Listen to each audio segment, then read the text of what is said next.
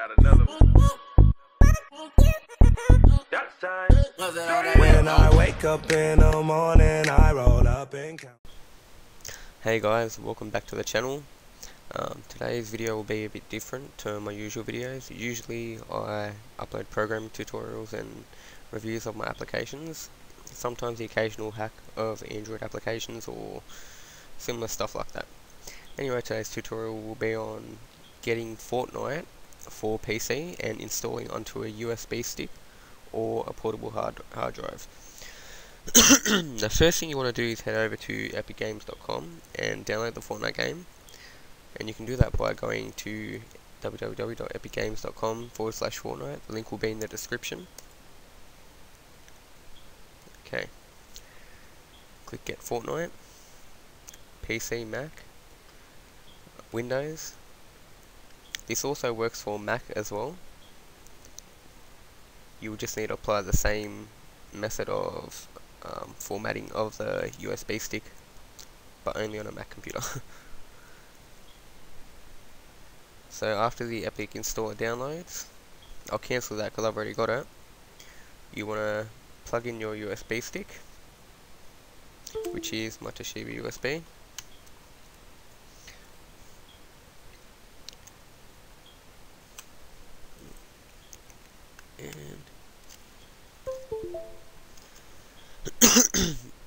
okay. Um, people may say online it's impossible to install into USB stick and that it doesn't work and they've tried multiple methods and it still doesn't work. It actually does work um, with minor modification as well. I'm surprised people didn't find this out already. As I'm a software engineer, I know, I know, I know quite a bit about this sort of stuff. And when I installed on the game onto another computer, I found out straight away why exactly it wasn't installing onto a USB stick. That's simply because the file system. When you first get a USB, it's by default formatted as a FAT32 file system, which means you can only store files 4 gigabytes and under.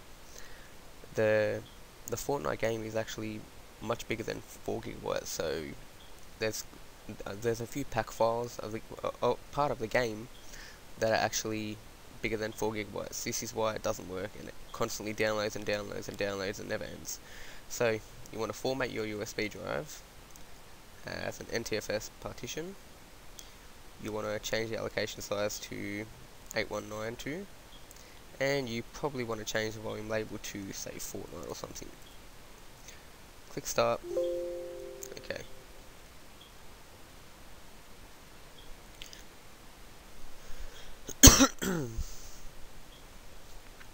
Only take a second. By the way, you must use at least a 32 gigabyte USB stick um, and preferably USB 3.0 as it would be it's much better transfer rates so less lag, more smoother gameplay. Okay, after that's done, you want to go to your downloads and run the Epic installer that we just downloaded from the site. You install this to your computer so you don't change the installation path of this. This is just a launcher, so this is required to launch the game. I'm sure I can figure out a workaround so it can be completely portable. I'm not too sure, I have to look more into it. so guys, we're back and the installation is done. This isn't the actual game, this is just a launcher. Okay, we can go ahead and close our downloads folder. You can also close this as well, it's not needed. This is the final part of the installation. Um, well here you want to actually type in your um, Epic Games uh, email and password. If you don't have one you can go down here and click sign up. Um, I prefer to click remember me so I don't have to log in every time. But um, I'm going to pause the video in here and then I'm going to click sign in and I'll be back. So I'm back and I'm signing in. This is my um, Epic ID so if you want to add me on Fortnite feel free to simply add me. Okay now to install Fortnite this is all you have to do. You have to click install. Um, I prefer not to use auto update, but you know that's everyone else's everyone else's choice. Um, you want to change the installation folder to your Fortnite USB, which is the USB we just formatted. NTFS, set 2 gigabytes. click select folder and then you want to click install now I'll warn you this is a really really really lengthy process you'll be downloading 10.3 gigabytes in total and yeah it'll get quite um, quite heavy on the RAM and CPU so I suggest you keep a computer cool as well um, I'm not going to sit around and watch this whole download with you but I'll be back towards the end of the video Hey everyone, I'm back. Um, the verification process is almost done. If you had trouble following this guide, um, it's quite simple, but I'll leave a, a text, um, a, a, detailed uh, instruction set in the description of this video, as well as links to download Fortnite and stuff like that. Um, also, next video, I'll be giving uh, I'll be giving away a PayPal gift card, a $50 one so if you want to buy V-Bucks, uh, just like, share and subscribe to my channel and comment on this video done and the winner will be announced in the next video. Uh, verification process is just about done.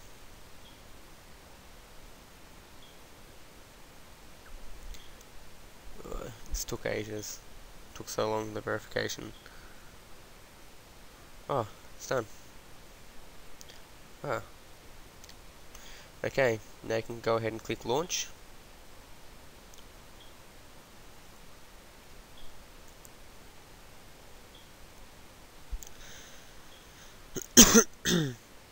First bit may take a while.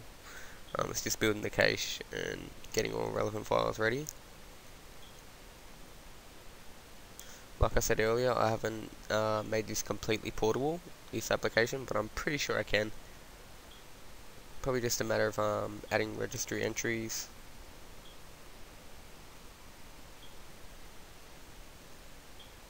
Oh, whoop, that did start, sorry. There it is. Alright, to show you that this game is actually running off the USB and not my computer, so I don't think it's a fake. Let's go here, let's go to Fortnite. Open file location. Look at that. That's our local disk E, which is our U uh, USB. Properties. That's completely running off the USB. If you remove it, you are unable to launch the Fortnite game until you reinsert the USB. So I'll just show you what happens if you do remove it. Close this and we'll close Fortnite. Oh. Exit.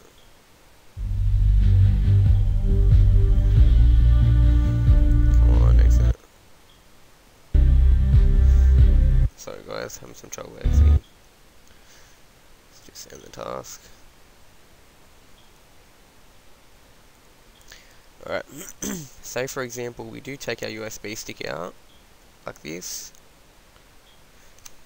USB stick's now out. Click launch. You'll have an error. If you plug it back in, and click launch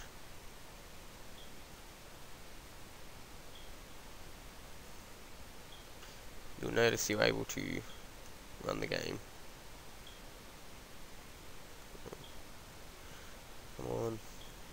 Takes its time to load up. So my computer doesn't have the best specs. It's only an i5 with 16 gigabytes RAM. It's a laptop believe it or not. There you go.